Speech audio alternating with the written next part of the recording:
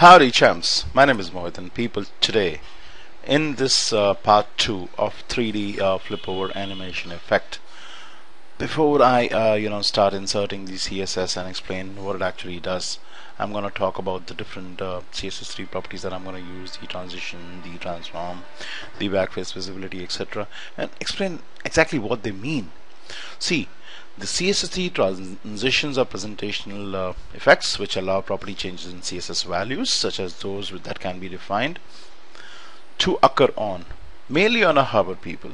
As in our example you know we hovered over the um, the div and it actually flipped over. Or a or a focus. So whatever is not on blur is actually on focus. Usually an element goes on focus when you click on it. But in our example we're going to talk only about the we have used only the hover effect you know when you take the mouse over to occur smoothly over a specified duration. In our uh, example, in our case it was 0.5 seconds or half a second uh, rather than happening instantaneously which is uh, the normal behavior. So when you want the transition or the changeover the makeover to happen over a specified period of time you use these CSS3 transitions. Uh, in our example you use the transition CSS3 property. Now transitions can be applied to a wide variety of CSS uh, properties. In our example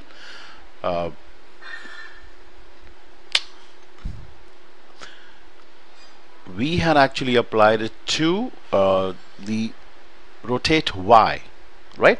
But you can also apply it to um, background color with high opacity and many more. Um, you I've, applied it with the width and height a lot even with opacity a lot and also background color. You know these are the main properties on which you actually apply the transition effects. Okay let's look at the the next slide or the next picture. Now IE10 Firefox Chrome uh, Opera all support the transition property. Anything lower than IE9 is not supported people. Safari and Chrome require the prefix uh, dash WebKit dash. Right. Let's look at the next picture. I like to use the shortened notation of the transition property people and this is the manner in which you use it. So you use the transition property then the duration then the timing function. Timing function basically is whether you want the ease to be in or out or linear right? And any delay if you would want it up front so this is the shortened notation for the transition properties. And I'm going to show you that too in a moment. Now what and uh, let's in the end talk about the transform property. The transform property applies a 2d or a 3d transformation to an element uh, in our example we use the rotate y property people. It's used to rotate TO2 I'm sorry about that uh, scale move or skew an element. In our example we've just used the rotate specifically rotate y or the vertical flip not the rotate x which can also which we could have done too. Right. And in the end let's talk about the uh, last property that I've uh, CSS3 property that I've actually used the backface visibility basically allows um, uh, allows or hides the the flip side of uh, a div when the element is actually rotated. Has uh, different values hidden or visible. Very simple. All right. So let's uh, get back to our HTML CSS document. Notice that people have actually removed whatever goes inside the different rules, the flip over rule or the flip over space question rule or the flip over space. I'm going to fill it all up and I'm going to talk about what I, why I'm doing whatever I'm doing, right? Okay, let me remind you once again about the HTML of the, the document. We have a div with a class of flip over. We have three such div people. Now this uh, div with the class of flip over uh, has two more divs inside nested divs with a class of answer and with a class of question which in turn have some content inside some text inside and a picture. So basically this is one set people. Div with a class of flip over which is basically the wrapper div has another div of class answer and another div of class question. So basically three divs here three more divs out here three more divs out here. One set uh, is for one question and one answer so one wrapper which has a question and answer div inside. Right. So in all we have nine divs. So three divs with a class of flip over which have two more divs inside with a class of question and the class of answer. Three such sets people. Very very simple. Alright.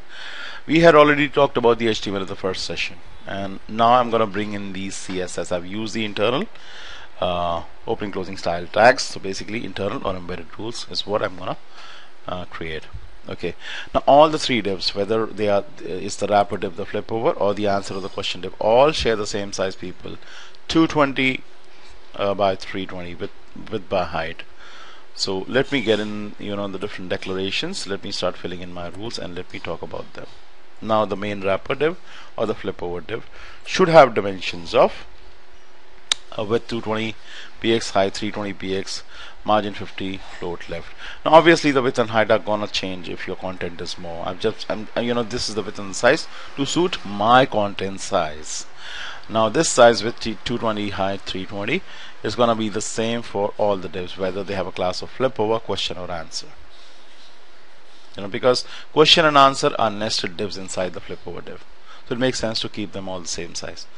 Why have I actually used margin 50 is simply to space out the boxes from each other. Margin creates space outside people just remember that. And uh, why float left? So that I can make the different boxes. Of the divs rub shoulders stand left to right. Right. Otherwise divs would be top and bottom not left and right. So float left. Okay. Let's bring in uh, some more CSS for you and let's talk about it then. Alrighty. Now this is going to target question uh, div you know div with a class of question which is inside div with a class of flip over basically class flip over is going to act as the wrapper div. Okay. Why position absolute. Uh, the question div uh, the, the div with the class of question is inside the div with the class of flip over okay. It's a nested div question div. The moment you set uh, the nested div to be absolute is going to tuck itself to the top left corner of the div which is the wrapper div. That is why position absolute you know I would want it to tuck itself at the top left corner. Simple. Uh, padding 10 basically creating a cushion inside space inside. So I don't want the text or the images to flush the walls of the div. Simple with 220 height 320 gonna match the wrapper div flip over div so no surprises there.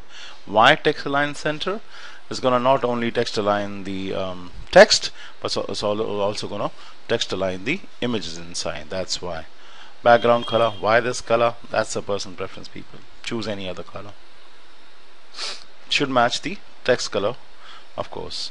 And border radius 8px what does border radius do? I'm sure most of you already know creates rounded corners. Choose you know play around with this value to make it more or less. Okay. Now let's move ahead. Let's bring in some more CSS and let's talk about it. Now main property people the transform property which allows you to scale skew rotate move the object right? Okay so why WebKit? For, for Chrome and Safari and for other browsers simple transform. Does not work in IE 9 people or earlier versions of IE 9 it works only in IE 10 where you actually don't require the MS prefix. So WebKit for know, Chrome and Safari WebKit browsers. Strangely enough the WebKit uh, in my case also works in uh, Opera. Very strange right? Usually you require the uh, dash or dash vendor prefix but simply by putting the dash WebKit dash for me it actually works in Opera too alright uh, perspective of 600 basically the uh, the place where uh, you are actually viewing where the eyes are actually set play around with the value. A higher value is fine a lower value may not be. So just experiment with the value the viewing perspective. That is what it actually is. Rotate y. So a vertical flip people along the y-axis it could be rotate x2 try that out. See what it actually means or it can simply be rotate. We don't want that. We just want the vertical uh, rotation along the y-axis. Zero degrees basically means no change. You know just keep it as is. So the question is going to be as is. No rotation up front. So we have a plain vanilla uh, vanilla transform property and one with the WebKit vendor prefix. Alrighty let's bring in some more CSS and talk about it.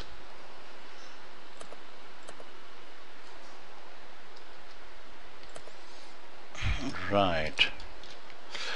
Now WebKit dash WebKit backface visibility. You know the vendor prefix as I have talked about earlier is required for the WebKit browsers Chrome and Safari. Otherwise use the plain vanilla transfer you know backface visibility property.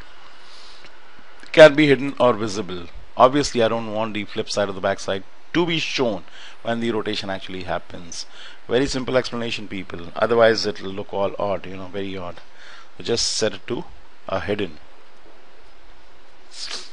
Righto. And in the end I'm gonna use the transition property and uh, specifically the shorthand notation. Use shorthand a lot people. It's gonna simplify your code. Keep it short simple compact. Okay as you become more and more experienced you should be using more and more shorthand notations of the different properties. Transition. Basically what does the word transition means? Makeover changeover you know from one state to the other. Right. So again I've used the vendor uh, prefix WebKit out here. Notice that I've not used it out here. This is the way you're gonna use it people. Not in the beginning but somewhere in the middle uh, like this. WebKit transform over 5 seconds and the ease easing function is ease out slow slow towards the end and uh, a little quicker in the beginning. So we have other variations like linear you have mm, ease in ease in out. So I'm gonna use ease out. That suits personal preference again. It's just slow the animation slows down towards the end. The opposite is ease in. You also have ease in out and linear. Linear means not changing the same throughout right in a linear fashion. So this is without the vendor prefix the transition without the vendor prefix. Righto. So this transition property is the main property uh, for the responsible for the animation. Now let's fill in the CSS for this one. But even before that let's take up a preview in Firefox. Let's see how things stand at the moment okay. So not much so far. The questions uh, have a, a background color. You can see it has uh, some rounded corners. The answers are plain vanilla at the moment. Right. And uh, they are all separated by a margin of 50 px and they're all floated left the different divs so not much so far. Let's move ahead. And uh, let me bring in some more declarations for you okay. So now I'm gonna target the uh, answer div which is inside the flipover div basically descendant selector. Answers inside flipover. Right. Now I'm, I'm doing the same thing out here. I'm setting the position property to be absolute. That's gonna tuck the answer div and align it to the top left corner uh, of the wrapper div which is the flip div. Padding creating a cushion. No surprise there. I'm gonna keep the width and the height same as the uh, question div or the flip over div they all share the same size 220 height 320 basically this is to suit the amount of content that you have. Again if you have different uh, content mm, different amount of content you're gonna change the size. Text align center centers the text and the images too. Background color whatever whatever. And again the you know the border radius uh, 8 px at this point let's save the document. Let's see the changes that have actually taken place let's refresh. Now you see what has happened. Since both the answer and the question divs are uh, position absolute both of them tuck themselves to the top left corner of the flip over uh, div. And the question div overlaps the answer div at this point. No flipping over but overlapping actually happens at this point. And what is actually responsible for the uh, overlapping is the position property set to absolute inside a div which is actually static. So that's the trick people. Just remember that. Okay. Let's forge ahead. Let's move ahead and understand uh, some more code. Alrighty.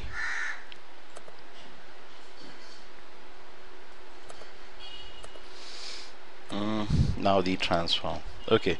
Now see uh, through the transform property and using the vendor prefix for Chrome and Safari using plain vanilla vanilla for other browsers.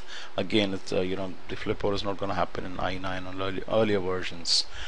Perspective as I said it's a viewing perspective. Play around with the value. Take it higher and lower and see what suits your taste buds.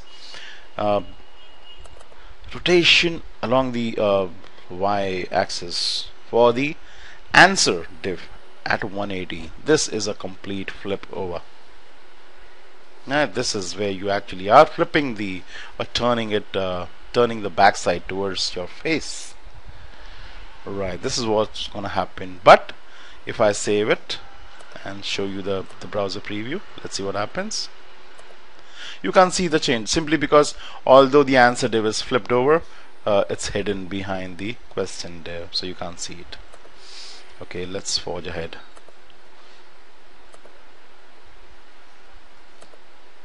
and bring in some more uh, properties or declarations right.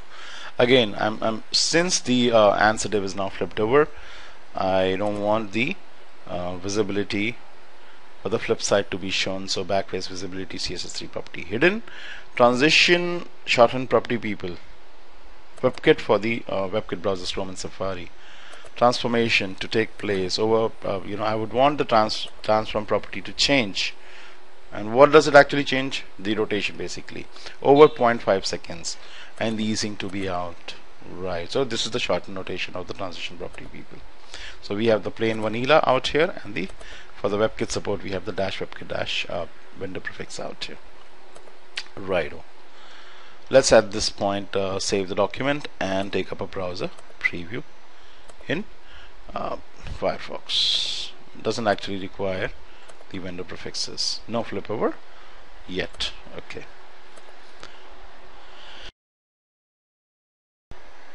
Right now let's bring in some more uh, declarations some more properties. So two more declarations. One is vanilla one is the WebKit. Now the transform property people. When somebody ho hovers over the flip over div which is the wrapper or the outermost div remember flip over has answer and question divs. Uh, the divs with the class of question and answer. What sh how should the uh, question uh, div actually behave in this manner? The perspective should be kept the same but uh, if you remember the zero degrees should change over to minus 180 the rotation animation is happening out here people. At this point at this point initially if you remember it was set to 0 degrees the question div and now it's set to minus 180 a complete flip over people. That's what is happening out here. Right? The back face has been set. Back face visibility is hidden people. Now at this point let's save the document up and bring up the browser. Let's see. Let's look for any changes. Yep. Rado. Now in the end people some more code and we are actually done. Now we are targeting the answer div. When somebody uh, you know hovers over the wrapper div or the flip over div.